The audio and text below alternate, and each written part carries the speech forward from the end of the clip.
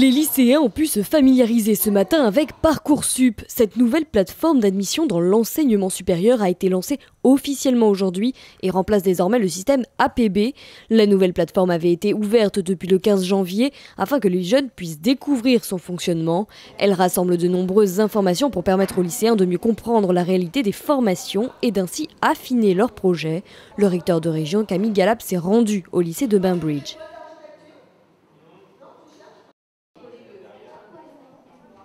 Devant leurs ordinateurs, ces lycéens se familiarisent avec Parcoursup, la nouvelle plateforme post-bac. Comme avec l'ancienne version, en quelques clics, ils remplissent leur dossier informatique et saisissent leurs vœux. Mais contrairement à l'ancien système APB, admission post-bac, les lycéens doivent saisir 10 vœux au maximum et non plus 24, et ce, sans les classer par ordre de préférence. Pour chaque formation, la plateforme propose de nombreuses informations afin d'aider l'élève dans son choix. Je n'ai pas rencontré de difficultés particulières. Euh, je trouve que c'est bien expliqué, il nous dit bien la marche à suivre. Euh, c'est facile à accéder, à s'inscrire. Euh, on comprend bien, c'est bien expliqué, très détaillé, donc ça va. Je trouve ça très intéressant, donc très détaillé. On peut naviguer facilement. Il y a beaucoup d'aides. Si on ne comprend pas, on, a de quoi voir au-dessus. Il y a de la lecture pour nous aider. Et c'est vraiment très facile d'accès, ça va assez rapidement.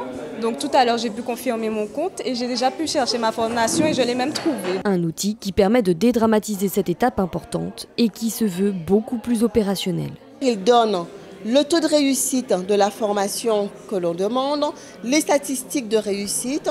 Il renseigne beaucoup plus d'informations par rapport à PB. Ce qui fait que l'élève, ben, en, prenant, euh, en choisissant une formation, va, va vraiment vers un vœu motivé. Pour le recteur, cette plateforme amène un meilleur accompagnement des élèves. Ce qui est important aussi, c'est dans la finalisation, dans la mesure où il doit faire 10 vœux qui sont placés au même niveau, et euh, eh bien euh, après, il y aura des réponses oui, oui si, ou non pour les filières euh, sélectives. Euh, et oui par exemple, ça peut donner un conseil à un élève sur euh, les possibilités de, parcours passerelle ou avoir un certain nombre de consolidations sur certaines disciplines pour ensuite accéder à ces filières. Les élèves ont jusqu'au 13 mars pour saisir leurs vœux. Les formations donneront leur réponse à partir du mois de mai et pour les jeunes qui n'auraient obtenu aucun de leurs vœux, une phase complémentaire se tiendra de juillet à septembre pour que tous les jeunes qui le souhaitent puissent entamer des études supérieures.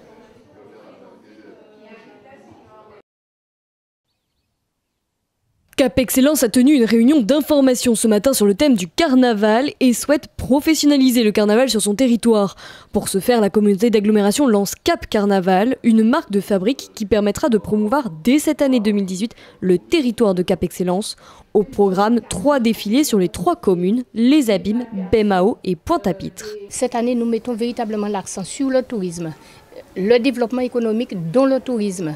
Alors aux abîmes, vous allez euh, avoir dès le matin une prise en charge des touristes dans le bourg puisqu'ils arrivent dès le matin, une prise en charge l'après-midi aussi pour, pendant le carnaval, et ça va se reproduire sur les trois carnavals. Autre point important, l'aspect financier. Cap Excellence mise sur la promotion du carnaval auprès des touristes et lance le 11 février prochain une boutique éphémère à Pointe-à-Pitre pour mettre en avant l'artisanat autour du carnaval. Il s'agira de, mettre à la disposition des artisans locaux, euh, à 90% de ceux qui résident sur le territoire de Cap Excellence, un espace euh, de vente de leurs produits véritablement de vente où ils doivent avoir des recettes. Et euh, nous ne demandons, ils ne déboursent rien, mis à part la fabrication de leurs produits, bien entendu. Et à partir de cette expérimentation, nous verrons s'il est possible de généraliser sur les trois carnavals. Le carnaval, un outil pour attirer les touristes, mais également un outil de coalition. Le directeur du Centre d'analyse géopolitique internationale a donné ses recommandations. Les préconisations à, tous les niveaux euh, sur la démocratisation du carnaval, donc faire en sorte que euh, plus de personnes soient impliquées, parce qu'on s'est rendu compte que 85 personnes des résidents communautaires étaient des spectateurs il n'y a pas d'implication réelle euh, des résidents dans le carnaval. Mais nous avons fait des préconisations aussi au niveau de l'implication des scolaires. Et nous souhaitons, par exemple, que, le quartier de l'assainissement, qui est un quartier intéressant plein de points de vue, soit expérimental de ce point de vue-là, qu'on implique les scolaires. C'est un très bon investissement à, tous les niveaux au niveau de, l'héritage que, le carnaval auprès des enfants, au niveau également de la transmission. Et pour valoriser son territoire, Cap Excellence souhaite aussi mettre en avant le tri sélectif. La communauté d'agglomération mettra en place dès cette année des bornes de tri disposées sur l'ensemble du parcours carnavalesque et sensibilisera ainsi le public sur cette question.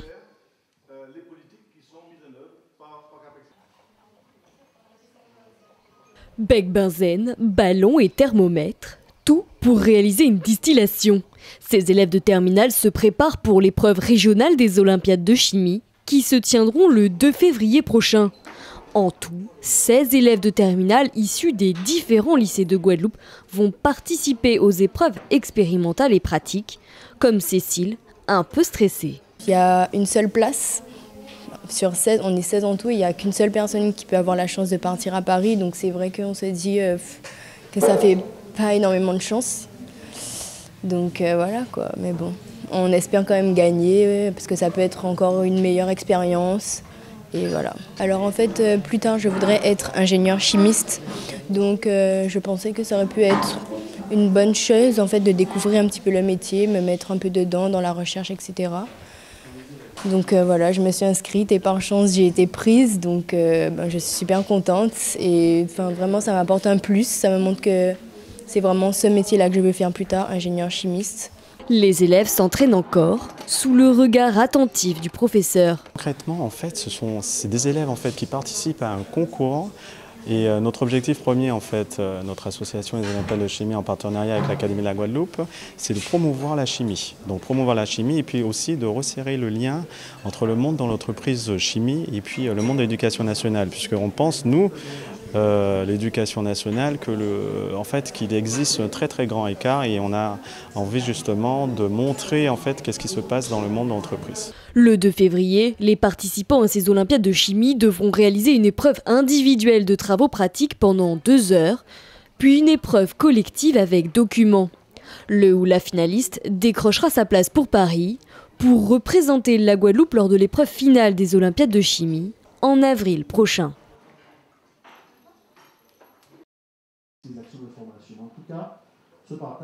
Les dirigeants de la société aéroportuaire Guadeloupe Paul Caraïbe dressent un bilan positif pour l'année 2017 qui s'avère être une nouvelle année record en termes de passagers. L'aéroport a accueilli 2 millions de L'aéroport a accueilli 2 361 170 passagers, soit une progression de 4,8%.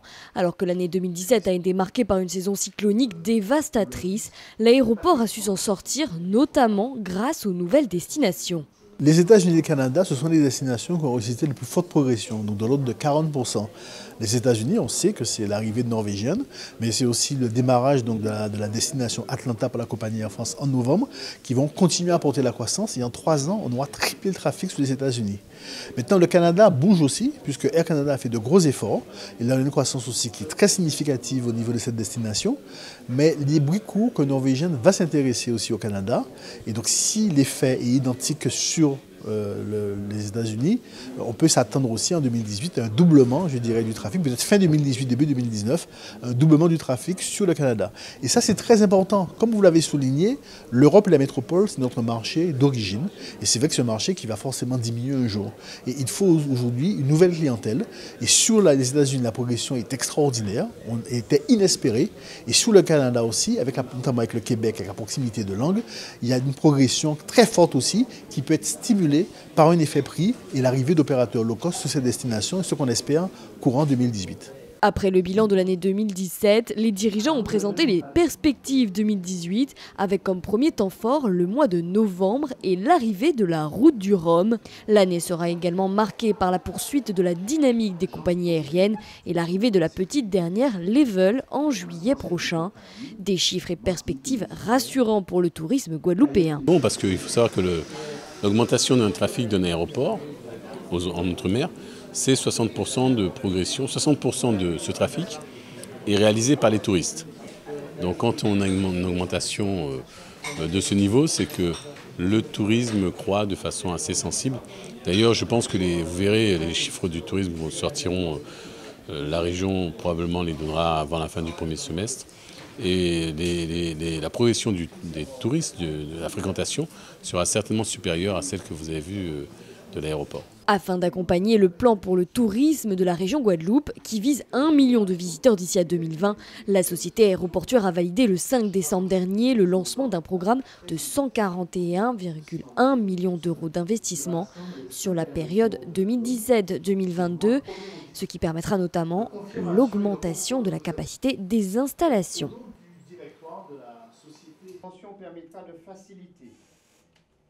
L'UDE MEDEF et la Caisse générale de sécurité sociale de Guadeloupe ont signé une convention de partenariat.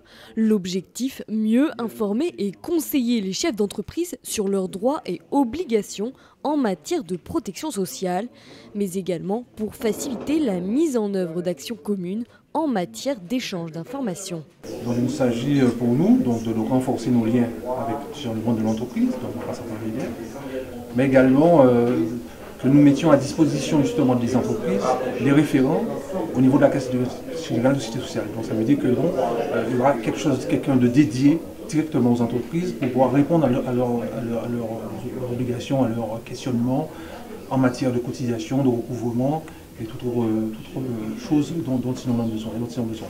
Ils le perçoivent d'une manière très positive parce que ça va leur permettre, je dirais, d'avoir des réponses à leurs questions on a affaire à un tissu économique euh, ici où 98% des entreprises, ce sont des très petites entreprises.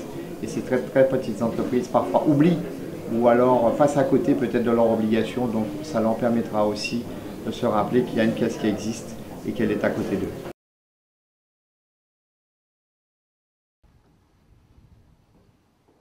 Cinq ans au service de la science, des océans et de la transition énergétique, c'est le pari fou que se sont donnés les membres de Race for Water, une expédition mondiale qui les a conduits depuis l'Orient jusqu'à nos côtes. L'objectif pour ces aventuriers engagés, sensibiliser le public sur la préservation des océans et proposer des solutions. À la veille de leur départ, la Fondation dresse un bilan plein d'espoir pour la Guadeloupe. Clairement, on arrivait de République dominicaine, donc euh, voilà, quand on arrive en Guadeloupe, on voit que c'est beaucoup plus propre. Vous avez la chance d'avoir des infrastructures de collecte, de tri, des entreprises de recyclage. On a visité euh, vos décharges, toutes ces infrastructures-là. En revanche, on constate que malheureusement, il y a encore des, choses à améliorer, notamment euh, en fait la collecte. Finalement, le tri sélectif n'arrive pas forcément jusqu'aux usines de recyclage, par exemple. Euh, puisque l'usine de recyclage des emballages plastiques ne, fonctionne qu'à 15% de ses capacités. Donc il y, a, un effort à faire là-dessus. Je pense que la population locale n'est pas encore assez consciente de l'importance du tri. Trier, ça veut dire quoi? Ça veut dire ben, que ce déchet-là, on va le transformer en quelque chose plutôt que l'enterrer dans une décharge ou alors de l'abandonner dans la nature, ce qui est un grand risque pour euh, ben, notamment la santé humaine. La Guadeloupe fut l'escale la plus longue pour cette odyssée, 5 mois dans nos eaux. C'est une, étape euh, importante, c'est une étape marquante. Et euh, euh, ce qu'on espère à chaque fois quand on part d'une étape, c'est de laisser un héritage. Et cet héritage, après, justement, c'est qu'il puisse continuer à, perdurer. J'espère que tous les messages qu'on a pu partager durant ces quatre mois ensemble, les workshops où on a pu réaliser, la partie scientifique, permettront euh, à la Guadeloupe euh, de continuer sur cette dynamique positive. Ce bateau révolutionnaire fonctionne avec des énergies renouvelables et est notamment doté d'un système de propulsion par kite. Une fois l'aile dans les airs, le navire réalise une économie d'énergie non négligeable. C'est-à-dire que quand on est sous kite, on a, on a on obtient au moins la vitesse habituelle de, croisière avec le, kite, et même plus parfois. Et pendant ces périodes-là, on arrête, on peut stopper les moteurs et donc euh, ne plus consommer. Tout ce qui est produit à ce moment-là part dans les batteries pour être utilisé plus tard. Grâce à ce kite, le yacht peut traverser des océans à moindre coût et offre une navigation silencieuse. Dimanche, ce bateau futuriste écologique et engagé quittera la Guadeloupe pour se diriger vers le Panama, où l'équipe continuera sa mission de sensibilisation.